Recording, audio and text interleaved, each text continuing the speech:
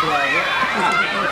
Heb je die weer mooi terug, jongen? Geweldig. Ga maar weer spelen.